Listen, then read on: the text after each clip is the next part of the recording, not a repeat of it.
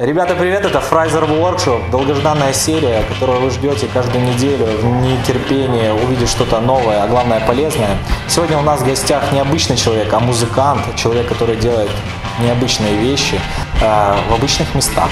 Уличный музыкант Эдгард Линицкий.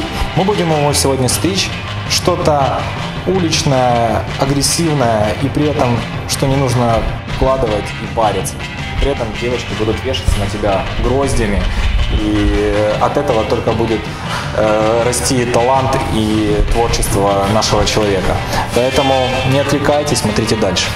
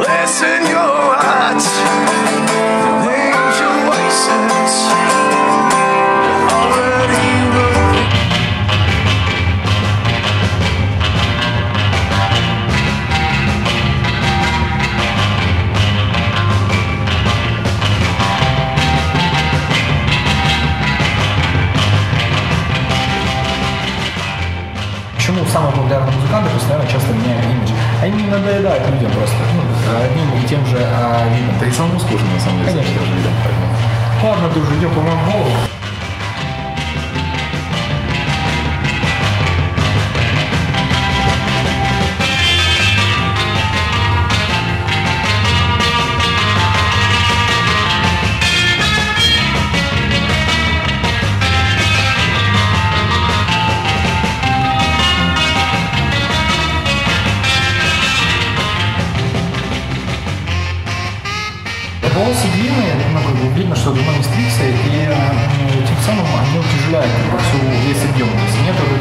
Этого естественного объема. Чтобы добиться э, максимального объема и не париться реально с укладкой и сделать такую среднюю форму, которую можно укладывать назад, на бок, как угодно. То есть просто растрепанно ничего не делать. Вот. Нужно будет облегчать немножко длину, то есть сверху и сделать небольшую градацию на, на низ. Э, При этом сзади мы тебе чуть волосы подберем, так чтобы они там не скручивались, никого не. Страшные слова. Страшные слова говоришь, не. Хорошо, я тебе доверяю. Я верю, верю, что получится хорошо. Уже лучше. Уже, уже, уже мне нравится. На самом деле я начал играть на гитаре, а, когда у меня в театральном ребятки, ну там, были умели играть. И... А я не умел, а у меня лежала дома гитара, которую мне бабушка подарила. И я такой принес и говорю, ребята, у нас будет гитарочка на курсе. И все такие, «Вау». Э, Ну, в общем, я очень быстро им надоел там со своим бренчанием, попытками учиться, и я перешел как-то играть парк. Ну, то есть сидел себе в парке под деревом, что-то разбирал, что-то мучил. Всем компаниям своим я явно надоел быстро. Ну, потому что, знаешь, когда ты начинаешь играть на гитаре, ты знаешь там две-три песни, и только их и бывает. Вот. И в один день как-то в октябре, короче, стало очень холодно. Ну, реально, типа, похолодало. А я уже привык к режиму дня, что я вот реально второй половине дня, у тебя реально часа два-три, тому что я учусь, как-то разбираю что-то новое. И вот этот день, когда, знаешь, ты впервые решаешь пойти поиграть на улице, ты не знаешь вообще, как это должно происходить. То есть я же не вышел из этой движухи уличной, знаешь, когда ты там с шапкой бегал, все дела. Я вообще там не признаю, как попрошайничество. То есть ты как бы выходишь давать, а не просить. Если кто-то хочет поблагодарить, то это уже как бы другое дело. Вот. И я, значит, становлюсь на станции метро Толстой, я так сейчас не помню, как сейчас.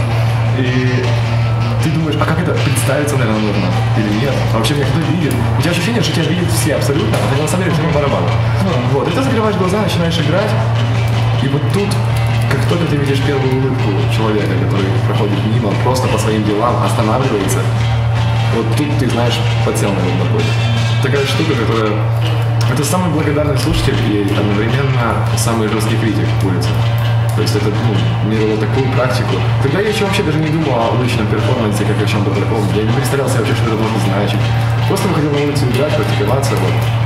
Ты бы порекомендовал музыкантам? Да всем нужно попробовать что-то поделать вот в условиях, когда этого не ожидают. Знаешь, когда ты приходишь в заведение играть, тебя воспринимают как артиста. В ресторан покушать, наверное, разложился на человека. Если они будут его, наверное, пригласили. Ну да, наверное, пригласили.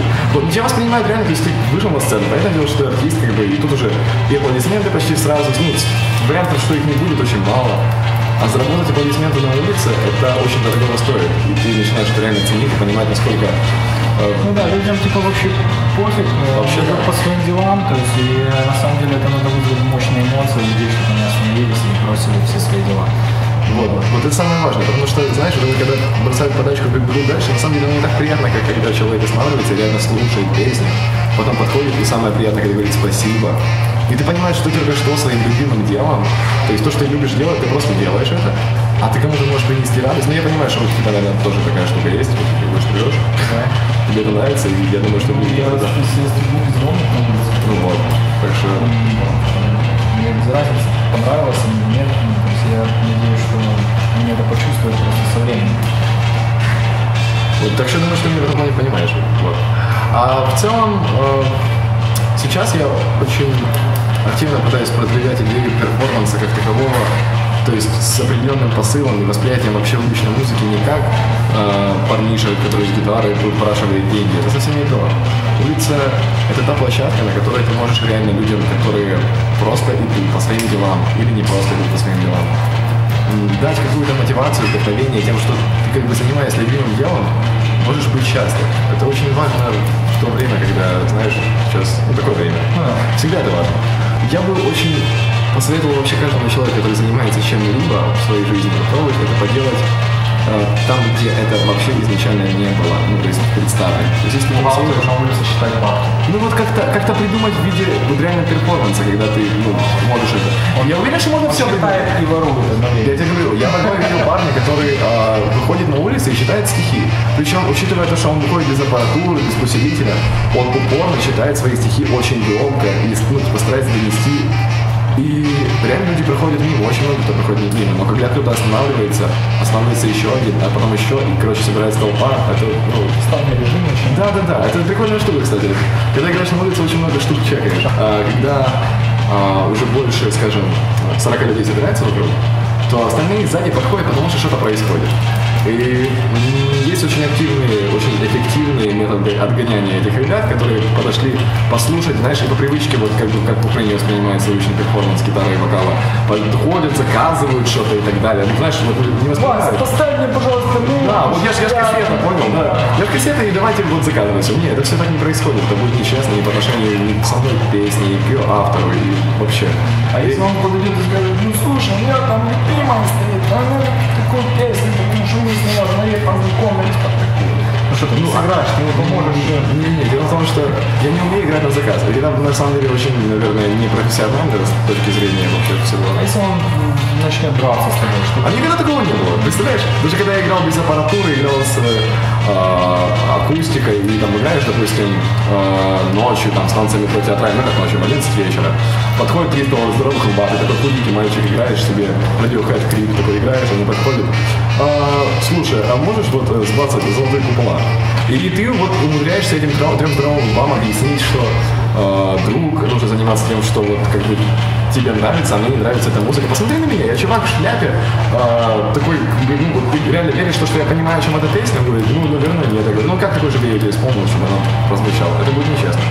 И представь себе, эти ребята ост- останавливаются, остаются. Я им играю музыку, которую я посчитал нужным в момент, потому что она внутри меня сейчас была. И в них, возможно, попало, возможно, нет, но они только слушают, говорят спасибо и уходят.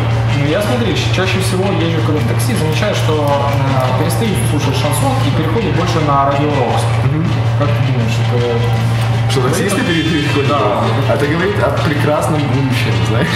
А, очень скоро вообще всего изменений. Ну, поколения растут. и те, кто слушает шансон, уже, наверное, уходят. Хотя, ну, знаешь, на каждого есть свой слушатель. Я не хочу как-то кого-то обижать ни в коем случае. Просто я не понимаю, кто там кто такой понимает. Кто слушает радиохэд, кто не слушает радиохэд. Ну, знаешь, это... Ну, полезно было бы позаниматься шансоном немножко, чтобы раскрыть э, лучше ту музыку, которую ты сам создаешь. Именно это заняться шансоном в классическом понимании этого, то есть посидеть в тюрьме и пописать песни. Я думаю, что это не совсем так сработает, как, как хотелось бы. Нет, я думаю, что Лучше попутешествовать и пособирать реальное общение с людьми, вот этот experience, который... все-таки музыка исходит от опыта, который ты Конечно, ты, ну, ты, тебя должен постоянно новый опыт, это куча вдохновения.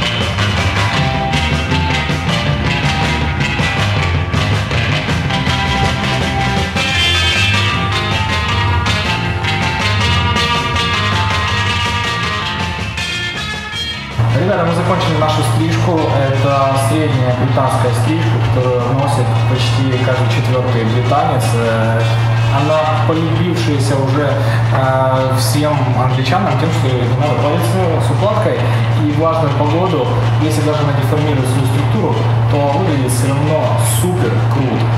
А, Можно одевать сверху шляпу, не париться о том, что она придет сверху объем, так как волос чуть-чуть а, короче сверху. И а, плавный переход входит на удлинение на совсем нормальный концепт. Стрижка выглядит э, рваной и более прямой, то есть в сухую погоду а, более влажно, она чуть-чуть, э, если даже подбивается, вихрь не так заворачивается. То есть так, если бы они заворачивались, если волосы были бы тяжелые на краях. А, Вот. Как по мне, э, каждый музыкант в своей жизни должен попробовать постричь такую себе стрижку, помахать шевелюрой на концертах и при этом не париться.